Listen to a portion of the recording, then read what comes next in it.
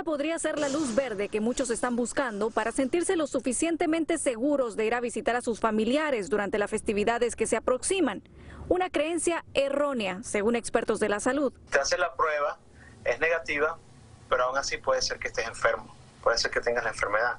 O sea que la, la prueba no es 100% segura. ¿Y qué tan probable es obtener un resultado negativo falso? El rango de, de falsos negativos, sobre todo la prueba de PCR, que es la más frecuente, que es la que se hace en la nariz, varía entre el 2% y el 38%. ¿Puedo contagiar aunque la prueba sea negativa y no tenga síntomas? Sí, puedes contagiar aunque la prueba sea negativa. Incluso 14 días después de la exposición, tú puedes presentar todavía la enfermedad. Por lo que recomiendan hacerse la prueba después del tercer día de exposición. Familias como la de Verónica López prefieren durante estas fechas no tomar ningún riesgo. Todo el mundo se siente triste por la cuestión que estamos pasando, pero en realidad es mejor este pues hacer una videollamada, estar como pues reunidos en videollamada con la familia, con todos los seres queridos.